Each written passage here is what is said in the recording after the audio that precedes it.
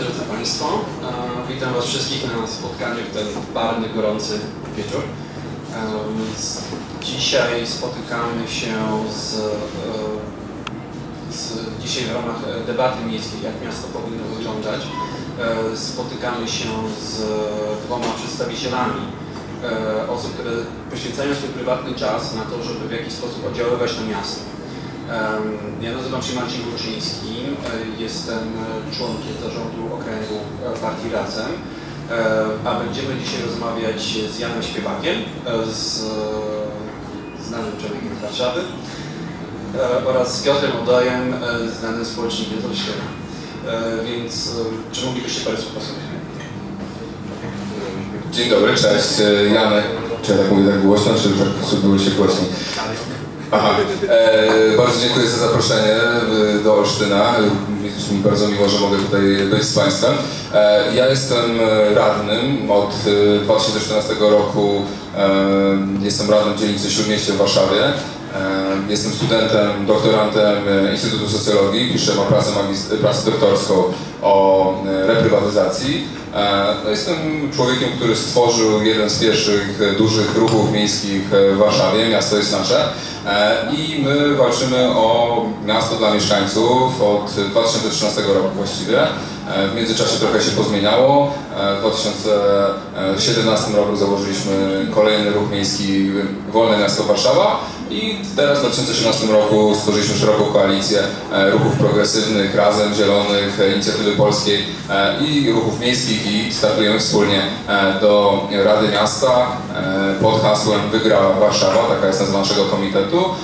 Ja jestem kandydatem na prezydenta Warszawy. No co tutaj dużo mówić. E, lubię psy, mam sam.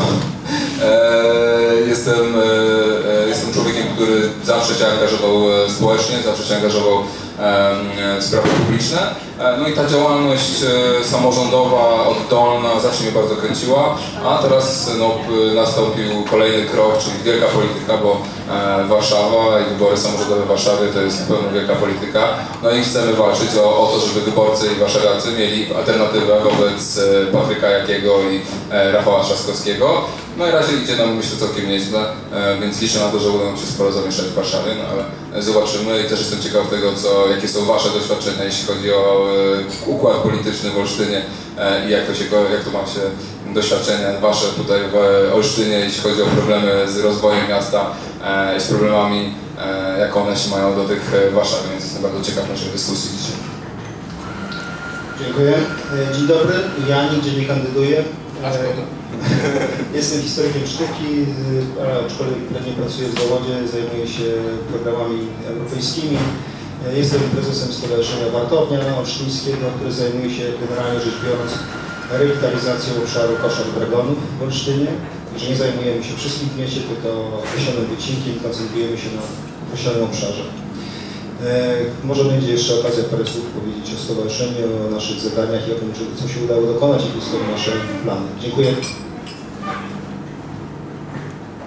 Dobrze, to mam do Was pierwsze pytanie. E, chciałbym, żebyście mi opowiedzieli o tym, e, jak rozumiecie miasto, jakie funkcje powinno spełniać miasto. Powiedzcie to przez pryzmat jakby własnej działalności, czyli to, co jest dla Was istotne, to jest to, co robicie, więc co Wy chcecie zrobić dla, dla miasta, żeby on był tak, jak, jak, jakie, było, jakie, by, jakie by byście chcieli widzieć? To jest bardzo duże pytanie. To jest, e, czymże jest miasto? Miasto jest, to jest lud. E, lud. Jak każde miasto to jest przede wszystkim społeczność mieszkańców.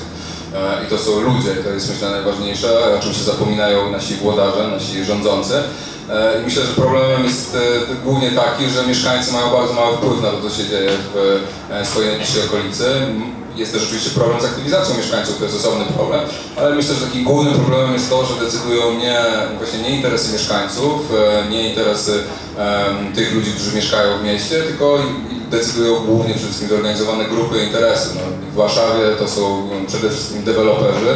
Mieliśmy też duże problemy e, wcześniej z takim lobby, można powiedzieć, reprywatyzacyjno-prawniczym, które też bardzo e, silnie wpływało na rozwój miasta poprzez przejmowanie gruntów e, i budynków, budynków użyteczności publicznej, kamienic, Więc e, to były mniej więcej te dwie grupy, z którymi my na co dzień toczyliśmy różne batalie o Warszawę, o zabytki, o właśnie dostęp do mieszkań i tak dalej, i tak czy dostęp do parków, bo reprywatyzacja w Warszawie e, no, do tego momentu doszła, że zabierała nawet e, parki, skwery e, i tego typu e, miejsca. E, My zaczęliśmy naszą działalność od e, takiej działalności, można powiedzieć, głównie watchdogowej, e, jak to się mówi, czyli od patrzenia władzy na ręce i na tym się w naszym znaczy główny naszą aspektem naszej działalności przez wiele lat było właśnie tropienie korupcji, tropienie układów, tropienie nadużyć, patologii władzy. I to był jeden taki bardzo silny, mocny obszar, w którym byliśmy bardzo aktywni i na tym, można powiedzieć, wypłynęliśmy. My się nie baliśmy nazywać pewnych rzeczy po imieniu, nie baliśmy się wchodzić w głośne spory. W ogóle uważam, że istotą demokracji jest konflikt i spór. E, I tego sporu brakowało w Warszawie. Była opozycja Prawo i Sprawiedliwość, ale to była żadna opozycja. E, To była taka opozycja, w której e, szef klubu radnych Maciej Wąsik, szef, zastępca szefa CBA przez 10 lat, będąc szefem klubu radnych, nie zauważył afery reprywatyzacyjnej. Więc ta opozycja była taką opozycją koncesjonowaną, która absolutnie nie interesowała się losami miasta i de facto była bardzo, miała wiele pomysłów na rozwój miasta, było bardzo zbieżnych e, z pomysłami Platformy Obywatelskiej, czyli w skrócie e, im więcej deweloperki, im więcej galerii handlowych, im więcej tego typu rzeczy, to oznacza rozwój, jak się rozwijamy, to prawda, będzie świetnie. No ale problem polega na tym, że e, koszta rozwoju Warszawy e, były prywatyzowane, są dalej prywatyzowane przez bardzo niewielkie grono e, podmiotów, a koszty są uspołeczniane. Koszty w postaci właśnie e, kosztów życia w mieście, kosztów mieszkania, kosztów e, w postaci takich pozamaterialnych, można powiedzieć, jak niszczenia zbytków, e, miejsc pamięci, które tworzą e, tożsamość miasta. E, I e, my jako mieszkańcy byliśmy, że tak powiem, no, finansowaliśmy te zyski tych nielicznych e, podmiotów, które sobie no, dalej korzystają na, na, na tym dynamicznym rozwoju e, Warszawy. Więc można powiedzieć, że zaczęliśmy od od kwestii takich watchdogowych, walki z korupcją, walki z patologiami, poprzez e, kwestie dotyczące tożsamości historycznej miasta, przez właśnie różnego, różnego typu dostępu do usług publicznych bardzo szeroko e, rozumianych. Podstawą, jakby hasłem wyborczym naszym zresztą w 2014 roku e, było odzyskanie miasta dla mieszkańców. I to jest jakby takie podstawa, czyli ruchy miejskie, ja się rekrutuję z ruchów miejskich, e, hasło prawo do miasta, e, hasło e, tego, że każdy mieszkaniec ma prawo decydować o tym, co się dzieje w mieście i każdy mieszkaniec jest jakby podmiot, powinien być podmiotem miejskiej polityki, jest w sercu naszego działania.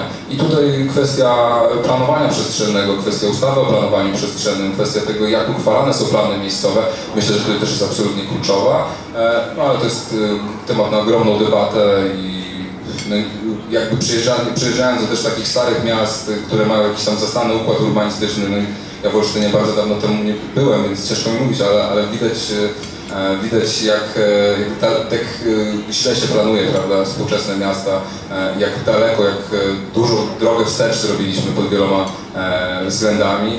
No i tak jak mówię, no te koszty tego chaotycznego rozwoju ponosi, ponoszą mieszkańcy na bardzo różnych e, płaszczyznach. No i my chcemy to, e, ten stan, e, status quo e, zmienić.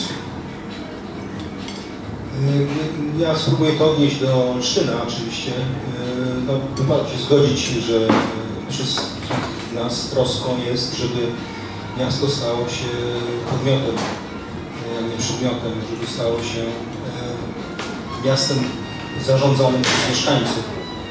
W jaki sposób, w jakiej formie to jest y, sprawa do dłuższej dyskusji, ale kształt obecnego zarządzania miastem, gdzie mieszkańcy nie mają praktycznie żadnego wpływu na decyzję jest niedopuszczalny.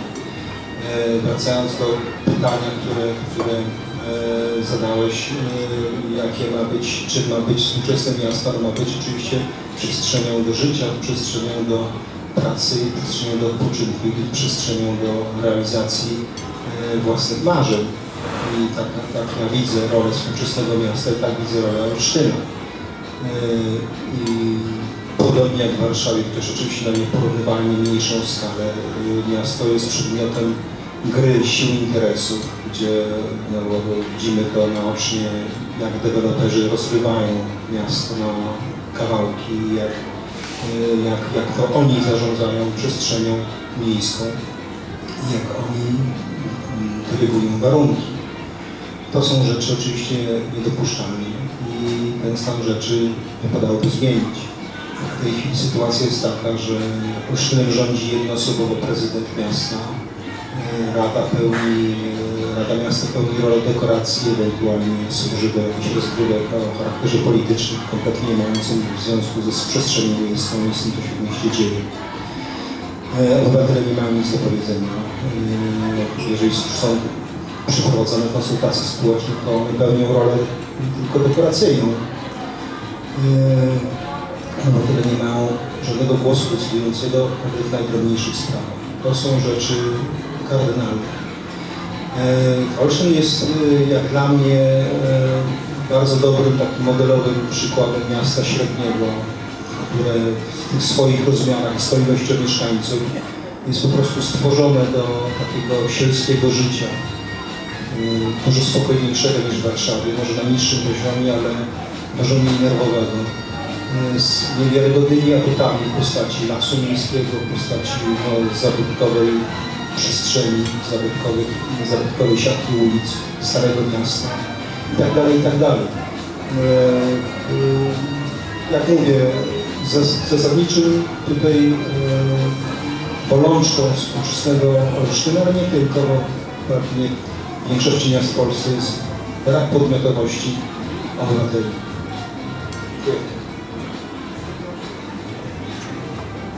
Przepraszamy za utrudnienia.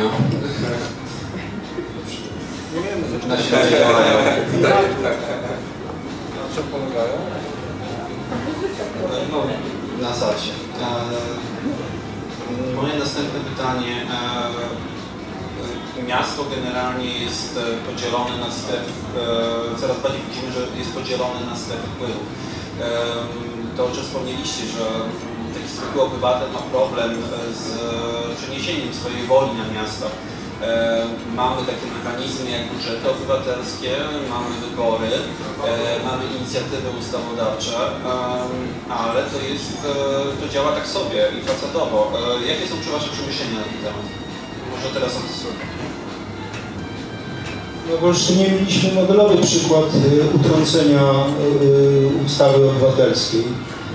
Przypomnę, to już będzie ze 3 lata temu, kiedy to w wyniku konsultacji społecznych, e, zresztą pod patronatem miasta robionych, e, były to naprawdę dobre, udane konsultacje z, ze sformułowaniem e, wniosków, z, z, przygotowanym planem, z gotowymi mapami. Wszystko to dotyczyło obszaru koszar dragonów. E, No i zgodnie z prawem e, podjęliśmy ustawę, e, inicjatywę obywatelską w celu uchwalenia, zmuszenia Rady Miasta do uchwalenia procesu rewitalizacji w koszarach dragonów. Zebraliśmy odpowiednią ilość podpisów, to było 299 podpisów. Złożyliśmy odpowiednie dokumenty i kruczkami prawnymi e, tą inicjatywę utrącono. Wręcz modelowy przykład, jak można energię społeczną e, elegancko zgasić. No bo po prostu ta energia gdzieś wyparowała, ci ludzie gdzieś się rozjechali po świecie i, i, i koniec. E, no, także moje doświadczenia są złe. Być może wrócimy do tej inicjatywy uchwałodawczej. Zebranie 150 podpisów nie jest, nie jest takim wielkim wysiłkiem. Natomiast rodzą się komplikacje prawne związane z, z faktem, że się zmieniło w międzyczasie prawo dotyczące ochrony danych osobowych. No, zobaczymy. Być może właśnie wybory samorządowe są dobrą okazją, żeby tę inicjatywę powtórzyć. Ale generalnie, jeżeli miasto chce, to ma mechanizm taki, żeby nawet najcenniejszą inicjatywę ukrócić. To wszystko. E, Z par- partycypacją obywatelską e, w Warszawie nie jest e, również najlepiej, chociaż jak słyszę 300 podpisów pod inicjatywą uchwałodawczą, no to my musimy zebrać 15 tysięcy, tak? I zresztą razem zebrało chyba około 20 tysięcy podpisów pod inicjatywą uchwałodawczą dotyczącą e, refundacji zabiegów in vitro i ta inicjatywa została utrącona. E, a więc e, z tym jest trzeba, no mamy dużo wyższy próg wejścia po prostu, jeśli chodzi o inicjatywę uchwałodawczą, ale jeśli chodzi o budżet obywatelski, no budżet obywatelski to jest chyba największa innowacja społeczna w Polsce. Przez parę lat no, tych budżetów obywatelskich stało się, powstało kik, w kilkuset miejscowościach. E, I to pokazuje, myślę, też e, no, ciekawą, pewną, pewnego rodzaju ciekawą dynamikę. Tak? E, Ja to jestem socjologiem, więc ja to upatruję w pewnym kryzysie, kryzysie władzy. Tak? Znaczy władze samorządowe, można powiedzieć taką cezurą bym nazwał to rok 2012, czyli euro. Do tego euro, czy do, to było głównym zadaniem władz samorządowych to było przeprowadzanie wielkich inwestycji infrastrukturalnych, budowa nie wiem, stadionu, aquaparku, e, tego typu e, rzeczy. E, I razem z tym, że po pierwsze mieszkańcy z drugiej, jednej strony zwiększyły się aspiracje mieszkańców, a z drugiej strony, że też wysychają środki europejskie, to władza poszuka nowych źródeł e, uprawomocnienia e, jej istnienia, czyli stara się e, jakby szukać nowych powodów, dla których ma, ma rządzić. Inicjatywa e, i budżet obywatelski mi się właśnie wydaje taką odpowiedzią, taką próbą. No, my jesteśmy teraz po to, żeby poprawiać jakość życia, żeby prawda, reprezentować interesy mieszkańców i dlatego te władze samorządowe tak chętnie sięgają po ten budżet. No tylko pytanie powstaje pie- pierwsze takie, dlaczego tylko 1%? W Warszawie to jest mniej więcej mniej niż 1% tak naprawdę budżetu, e, dużo mniej niż 1% budżetu Warszawy to jest, e, jest e, w budżecie obywatelskim. Dlaczego nie 100%, tak? E, Dlaczego konsultujemy tylko 1% i dlaczego mamy finansować z budżetu obywatelskiego rzeczy, które są, e, no myślę, były obowiązkowe e, dla samorządu. No, z, z budżetu obywatelskiego nie wiem jak u Was, ale w Warszawie no, finansowane są remonty łazienek w szkołach, e, odposażanie bibliotek, e, no tego typu rzeczy, które powinny być psim, obowiązkiem władzy samorządowej. E, Więc e, e, i poza, a te projekty ambitniejsze, te projekty, które wymagają więcej od urzędników, które są bardziej skomplikowane, które właśnie zmieniają tu czasem, e, jeśli chodzi, no naciskają na pewne grupy interesu, e, to te projekty nie są realizowane. E, I te projekty okazuje się, że no nie wiem, no to głównie no, osią tej sporu to są zazwyczaj ścieżki rowerowe, e, które wiążą się często z tym, że trzeba zanężać jezdnie, czy e, trzeba częściej robić, nie wiem, e, czy zmieniać się układ miejsc parkingowych, tak? I to jest, te projekty już mają ogromny problem z tym, żeby być realizowane. E, Ja powiem tak, że jednak e, referendum odwoławcze, które było w Warszawie w 2013 roku, jednak doprowadziło do pewnej zmiany w Warszawie e, i jednak ta władza troszeczkę się zmieniła na lepsze, mi się wydaje. I myślę, i, dlatego dla mnie ta partycypacja obywatelska jest taka ważna, ale myślę, że ona powinna być trochę na, inaczej prowadzona. Znaczy, że to właśnie powinno być tak, że jest konsultowany cały budżet w jakimś sensie, tak? Że te projekty do budżetu obywatelskiego nie powinny być czymś, co władza samorządowa powinna i tak robić. E, Jestem za panelami obywatelskimi, jestem za konsultowaniem e, jak największej ilości e, rzeczy, ale kluczowe, jeśli chodzi o partycypację obywatelską, ciągle jest uchwalanie planów miejscowych. My mamy w Warszawie 30%, 35% Warszawy jest pokrytych planami, co oznacza, że w większości miasta deweloperzy mogą robić co chcą. Plany miejscowe są uchwalane tam, gdzie opłaca się to deweloperom.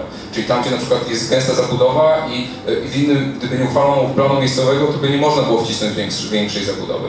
My mieliśmy, walczymy teraz o zachowanie e, XIX-wiecznej parafii. No w Warszawie to jest e, no, Warszawa zniszczona w czasie wojny, wiadomo, każdy zabytek jest na wagę złota, a e, plan uchwala się tam właśnie, żeby wcisnąć w miejsce tej parafii, w miejsce cmentarza, żeby wcisnąć wieżowiec. I tam akurat powstaje plan.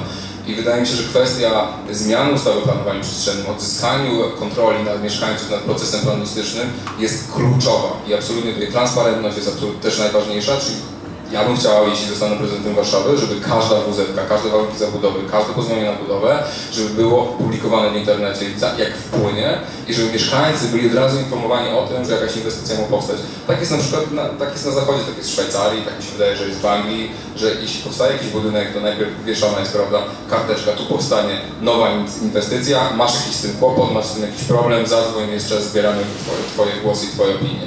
Warszawie dowiadujesz się o tym, że powstaje nowe osiedle, nowy budynek, nowa galeria handlowa, jak już wiedzie ciężki sprzęt i wytną wszystkie drzewa. No to jest totalna patologia, czyli tutaj kwestia dostępu do wiedzy, do, dostępu do informacji, e, myślę w partycypacji obywatelskiej, w tym, żeby zwiększać wpływ mieszkańców na to, co się dzieje w mieście jest absolutnie kluczowa i tu możemy zrobić bardzo dużo. Jeszcze, jeszcze y, taka próba do powiedzenia, y, żeby ten temat nie uciekł. Wydaje mi się, że y, bolączką, bolączką y, miast y, współczesnych polskich jest brak wizji. Ani włodarze, ani mieszkańcy nie mają jasnej wizji, jak miasto ma wyglądać za lat 10, za lat 20 i za lat 50. Gdyby takie wizje były formułowane e, wspólnie, e, być może te kierunki rozwoju przestrzennego i te plany łatwiej byłoby formułować, gdybyśmy wiedzieli, że chcemy na przykład jako pierwsza planowa sprawa zachowywać za wszelką cenę zabytki na przykład, albo zachowywać historyczny układ urbanistyczny, albo zachowywać zieleń na jakimś obszarze. I że miasto ma się rozwijać w tym, a nie w innym kierunku, i że miasto ma pozyskiwać takich, a nie innych specjalistów, miasto ma kreować takie, a nie inne e, zapotrzebowanie na specjalistów, takie, a nie inne zapotrzebowanie na odpowiednie przemysły, aktywności, sport. Że za 50 lat chcemy widzieć nasze miasto tu, a nie, a nie gdzie indziej, w takim, a nie innym kształcie. I chcemy żyć na takim, a nie innym poziomie. Być może gdyby taką, takie wizje były jasno, czytelnie, krystalicznie, przejrzyście formułowane, cały ten proces byłby dużo prostszy. Natomiast boję się, że jest to niemożliwe dlatego, że wtedy właśnie ta gra interesów różnych sił, które za wszelką cenę chcą się na organizmie miejskim wzbogacić i to nie w żadnych zbożnych celach, tylko z czystej chciwości i pazerności, do tego po prostu nie dopuszcza. Dziękuję. No i to jest moje ostatnie pytanie, później przejdziemy do, temat, e, do pytań publiczności. E, dosyć istotnym e, tematem jest właśnie kwestia, w jaki sposób zmienić to. Żeby to zmienić, trzeba mieć jakiś sposób nacisku na władzę. Najprostszym sposobem jest, chociaż jednocześnie niezwykle trudno być po prostu częścią tej władzy, ale no, są w Olsztynie na przykład to się jeszcze nam nie zdarzyło, raczej, raczej bawimy się, żeby naciskać z zewnątrz. E, pytanie moje, e, w jaki sposób mamy budować lewar do zmiany tego e, sposobu myślenia o mieście? Ja jestem radnym, tak, i, i to nie jest przypadek, że jestem radnym, bo no dokładnie tak samo uważam, czy my wyrośliśmy z organizacji pozarządowych i zdaliśmy sobie sprawę, że dopóki nie będziemy no, w radach, nie będziemy w części, tej, znaczy nie będziemy częścią tego systemu, e, nie będziemy mieć na nic wpływu. E, nie to, żebyśmy mieli jakiś wielki wpływ teraz na to, co się dzieje w Warszawie, bo jest nas e, tych radnych niezależnych czy spoza PO i PiS jest nas ciągle zbyt mało, ale no, nie, nie da się z pozycji organizacji pozarządowych, z pozycji zwykłych obywateli do końca wpływać na to, co chce władza. Znaczy my mamy takie doświadczenie, też wspomniałem o tym referendum odwoławczym, że E, rządzący zaczynają coś robić, czy zaczynają słuchać mieszkańców tylko i wtedy i wyłącznie, kiedy mają nad sobą jakiś, no mówiąc e, kolokwialnie, jakiś bicz, tak? Znaczy, że dopóki nie czują strachu, nie boją się, to nic nie robią. A samorządowcy w Polsce zupełnie się nikogo nie boją, niczego się nie boją. E, mamy, e, prawda, znaczy w, gdybyśmy mieli dobrze funkcjonujące państwo, to wyobrażam sobie, że funkcjonowałyby, nie wiem, bardzo dobrze by funkcjonowała niezależna prokuratura na przykład, dobrze by funkcjonowały e, e, niezależne media lokalne, dobrze by funkcjonowały e, społeczeństwo obywatelskie, które by się organizowało i które by pilnowało pewnych rzeczy. No ale niestety mieszkamy w, mieszkamy w, w Polsce, gdzie te systemy kontroli, które funkcjonują na zachodzie, nie funkcjonują, nie, nie funkcjonują tak dobrze jak tak dobrze u nas. I będzie, no, my wychodzimy e, z tego punktu, e, z takiego założenia, że jeśli nie będzie nas w tych radach, jeśli nie będzie nas e, w, we władzach samorządowych, to niby, niby ta władza nigdy się nie będzie nas wystarczająco bała. I, i widzimy te klany, tak? Znaczy mamy władze, znaczy, władze samorządowe, Warszawa może nie jest najlepszym przykładem, ale też, no, Hanna Gronkiewicz-Waltz rządzi 12 lat, tak? Układ PO, wcześniej to było była Unia Wolności, rządziła właściwie z przerwą na Lecha Kaczyńskiego od 1994 roku w Warszawie. Prezydent Gliwic, mój ulubiony, yy, rządził Gliwicami od 90 roku. Znaczy, to jest totalna patologia. I nikt mi nie powie, że prezydent Gliwic jest taki dobry, dlatego jest wybierany od 25 lat. No nie, on jest po prostu uzależnił od siebie całą pozycję, uzależnił od siebie wszystkie media lokalne, stworzył swój własny lokalny układ, więc po prostu nie do odwołania. E, I tak jest w bardzo wielu miejscach w Polsce. E, I niestety e, jedynym sposobem moim zdaniem jest to, żeby te, wchodzić, do tych, wchodzić do tych władz, tworzyć komitety, jak to mówił e, Jacek Kuroń i zmieniać, tą, zmienić ten system od środka. I problemem dużym jest u nas ciągle też jest problem. W Warszawie to jest w ogóle kosmiczna sprawa, bo w Warszawie my musimy teraz wystawić, nie chcę skłamać, ale my musimy go wystawić koło 250 osób do rad. Ilu? No nie, no, to, nie, no, nie no, z 300 osób musimy wystawić na listę, tak? Mamy rady dzielnic, mamy rady miasta, e, to jest po prostu ogrom, ogrom ludzi. I my mamy ten problem, że bardzo dużo ludzi, bardzo fajnych ludzi, e, nie chce startować w wyborach, bo uważa, że to jest coś niefajnego, niegodnego, niedobrego. I my mieliśmy ten problem 4 lata temu, mamy ten problem dzisiaj.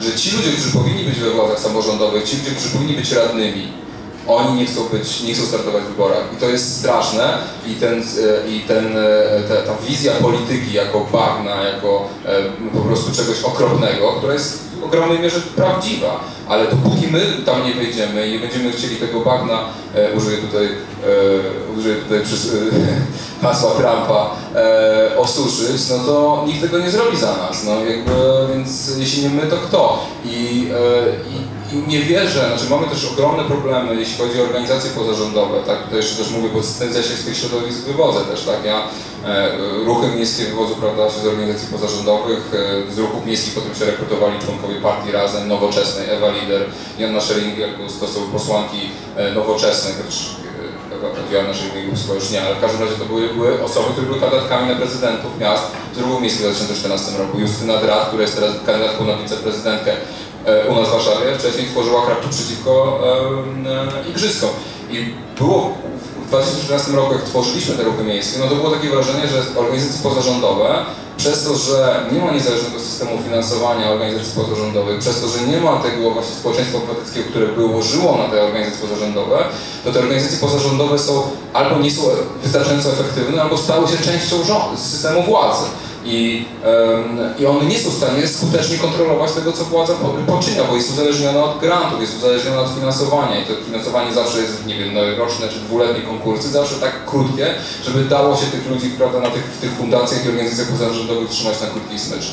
I e, więc mamy pewną porażkę społeczeństwa obywatelskiego, które miało powstać przez zbudowanie organizacji pozarządowych, grantoza, e, właśnie NGOizacja, te wszystkie hasła. E, I, e, I, są ludzie tacy jak my, którzy chcą zmieniać politykę i, i znaczy chcą zmieniać świat, chcą zmieniać swoje miasta i nie mogą tego robić z poziomu organizacji pozarządowych, więc muszą iść w politykę. E, I to jest pewien naturalny proces, moim zdaniem, który, który trwa i mam nadzieję, że ci ludzie z ruchów miejskich będą coraz częściej wchodzić do polityki, coraz częściej będą tworzyć własne komitety, będą wygrywać wybory, będą dostawać mandaty i to w par w perspektywie 4, 8, 12 lat przyniesie e, rezultaty. W Warszawie o tyle, e, ja miałem na przykład łatwiej, bo mój okręg wyborczy to była dzielnica Śródmieście i ja musiałem zdobyć, prawda, no nie wiem, około 4-5 tysięcy głosów, żeby e, wejść do Rady e, Dzielnicy z moim komitetem i, i mieć 4 mandaty. Ale do Rady Miasta w Warszawie e, jest trudniej się dostać niż zostać posłem. Tak? Nie wiem, jak jest do końca w Olsztynie z Radą Miasta, ale to jest pewien problem, tak? Czyli ten próg wejścia jest, jest ciągle bardzo wysoki, ale wydaje mi się, że nie ma innej drogi.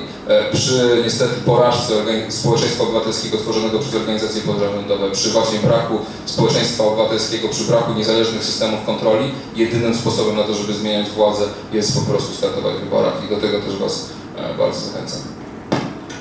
E, zgadzam się z Tobą. To jest y, chyba jedyna ścieżka, która może przyspieszyć proces naturalnego wymarcia y, tych ludzi, którzy przynieśli y, swoją wiedzę i mentalność dla PRL-u a tacy niestety w większości zarządzają e, polskimi e, miastami. To jest e, bolączka. Drugą taką ważną bolączką, którą też mogę odnieść do Olsztyna, to jest brak, brak sprawowania funkcji kontrolnej przez media regionalne. To jest kwestia taka, że po prostu, no już nie będę wymieniał jakie to media, ale ale każdy wie, jakie mamy media tutaj e, olsztyńskie, są po prostu zblatowane z władzą, różnymi więzami finansowymi. To jest kwestia ogłoszeń, to jest kwestia e, artykułów sponsorowanych. To jest skomplikowana sieć zależności, głównie finansowych, e, które po prostu e, wiążą ręce e, e, dziennikarzom, którzy mogliby się pokusić o taką prawdziwą krytykę poczynań władzy. Rzeczywiście, moim zdaniem, jedyną możliwą metodą jest jak najszersze wchodzenie do Rady Miasta próba wykreowania własnych kandydatów na prezydenta i radykalna próba zerwania z tym układem, który, który no, niszczy miasto. Niszczy miasto poprzez niekontrolowany rozrost w górę, na boki, wzdłuż i w poprzek, bez ładu i składu. Taką sytuację mamy w tej chwili w Olsztynie. Ja y, może troszeczkę y, nie na temat, ale żeby też nie uciekło, chciałbym zwrócić Państwu uwagę, że miasto coraz silniej wkracza w las miejski. Coraz mocniejsza ingerencja jest. To już naprawdę zaczyna być coraz bardziej widoczne. Wystarczy przejść po lesie miejskim i ten dziki, dziki, bezcenny zasób Olsztyna jest coraz bardziej asfaltowany, coraz bardziej betonowany, coraz większa ingerencja cywilizacji w ten bezcenny obszar. Ja boję się, że jeżeli tak dalej pójdzie, to za kilkanaście, kilkadziesiąt lat las miejski będzie szczelnie obudowany osiedlami yy, i po prostu zniknie. Zniknie ten bezcenny yy, dla nas obszar. Dziękuję. Dobrze, dziękuję bardzo Wam za te moje pytania, za, za odpowiedzi, ale teraz e, będę prosił Was, e, czy macie pytania do e, naszej gości?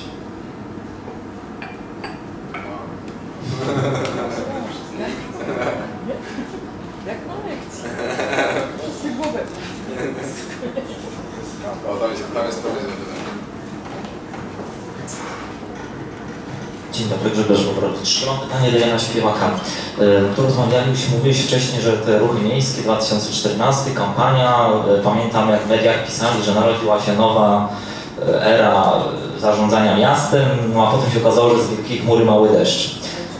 Co Ci w ogóle skłoniło, żebyś teraz wystartował z ramienia koalicji, gdzie nawet są partie polityczne, tu mówiłeś wcześniej, że ludzie nie chcą się angażować, tu też trochę nasze doświadczenia lokalne nie tylko pokazują, że część społeczników e, z partiami politycznymi nie chce nic do czynienia, co sprawiło, że Ty zmieniłeś zdanie w tej sprawie. Nie wiem, czy zmieniłeś zdanie, ale że zdecydowałeś się na takie rozwiązanie. Znaczy, partie są elementem demokracji. To jest absolutnie e, część, e, część systemu demokratycznego i tak to funkcjonuje w całym, na całym świecie. Problem z polskimi partiami politycznymi jest, taki, że są niedemokratyczne te partie. Są bardzo, e, e, no jakby to powiedzieć, no są tak naprawdę prywatnym folwarkiem pana Kaczyńskiego czy pana nie wiem, no każda, oczywiście każde miasto, każdy powiat ma własnego właściciela danej partii, który buduje swój system klientelistyczny, tak, i w ten sposób buduje partię polityczną. E, I to w ogóle z perspektywy historycznej jest ciekawe dla mnie i, i, i kiedyś na pewno coś w tym zrobię e, naukowego, e, bo, bo ten, ten, ta sieć klientelistyczna, która jest budowana przez PO i PiS, przede wszystkim teraz przez PiS jednak, e, jest czymś chyba jednak nieprawdopodobnym i wydaje mi się, że no, to jest taki model no naprawdę no, tak daleki od demokracji, standardów demokratycznych, że, że e, ale, ale, ale tak to skuteczne jest, tak? Czyli kupuje się, jakby tworzy się partie polityczne przez dawanie pracy e, znajomym, członkom partii politycznych, z, siostrom itd. Tak itd. Tak e, I, I to jest patologia. Ale same partie polityczne nie są niczym złym. I razem, do którego ja mam nie, nie jest tak, że ja się ze wszystkim zgadzam, bo gdybym się ze wszystkim zgadzał i w ogóle uważał, że Razem jest super, to pewnie bym sam był członkiem Razem, ale Razem jest partią demokratyczną. I to jest ta podstawowa różnica, e, którą, znaczy, to jest jedna z wielu różnic, ale to jest ta, ta, myślę, ta jedna z pierwszych rzeczy, która jest dla mnie ważna. Druga sprawa, no tak jak mówiłem, razem czy Zieloni, e, no, razem zbudowane też z osób, które się rekrutowały z ruchów miejskich. I dla nich te wartości, które mi są osobiście bardzo bliskie, są reprezentowane w, tym, e, w tej w tej partii, tak? czyli zrównoważony rozwój, prawo do miasta, kwestie dotyczące uczciwości, też nieuwikłania w pewne układy, to wszystko jest dla mnie bardzo istotne.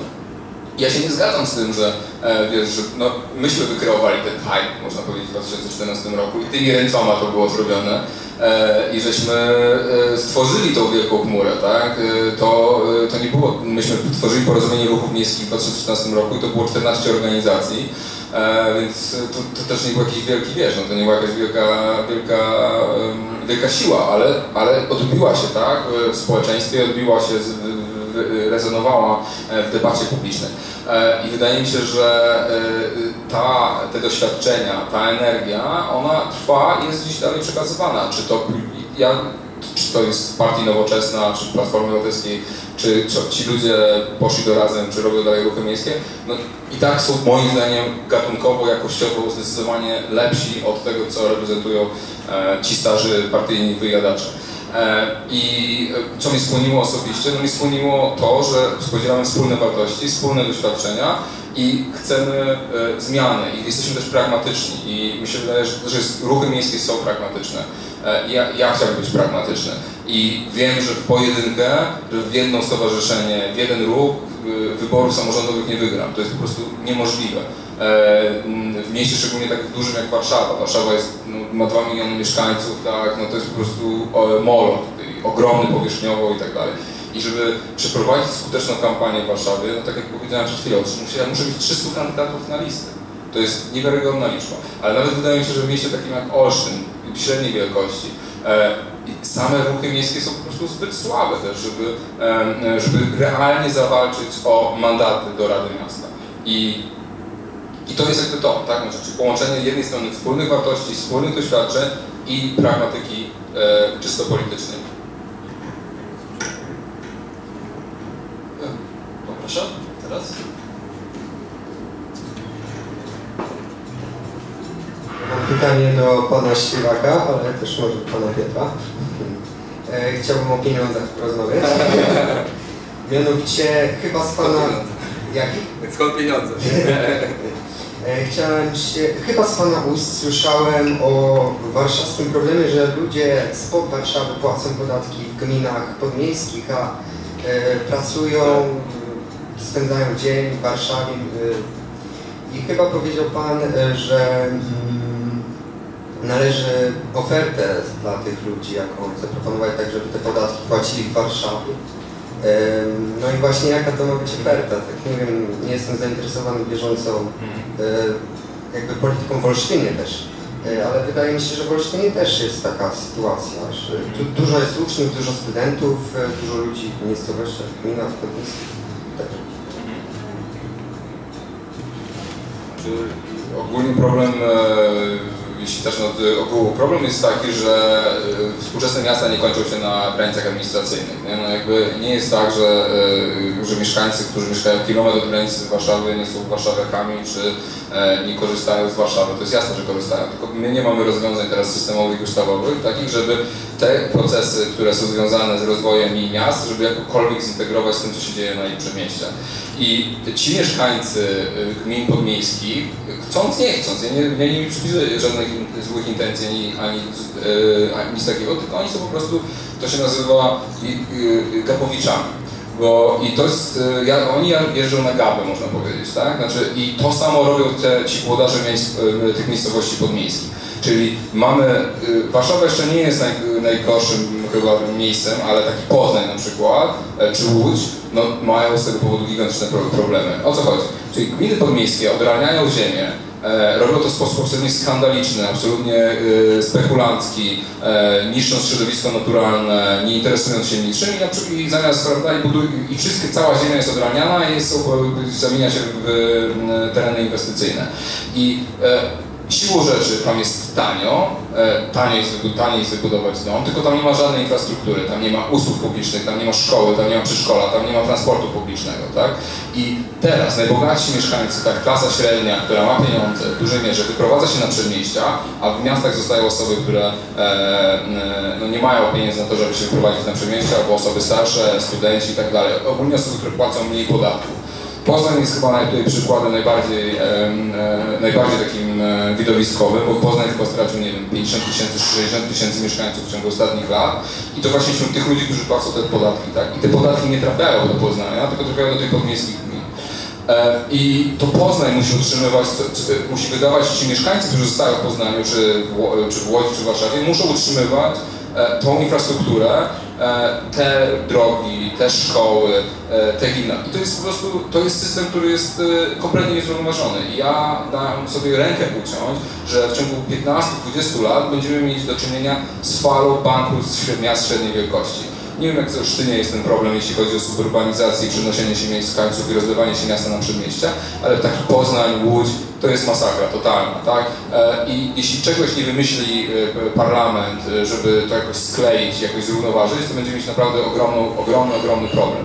My, Polska rozwija się tak, jak się, jak się rozwijają miasta amerykańskie. To jest bardzo, bardzo drogi sposób rozwoju. Czyli e, e, no, chociażby, tak, jeśli masz ogromne miasto, to zastanów się, ile musi kosztuje Cię potem dostarczenie ciepłej wody, położenie rury, e, wybudowanie ścieżek rowerowych, dróg itd., itd. To są gigantyczne koszta.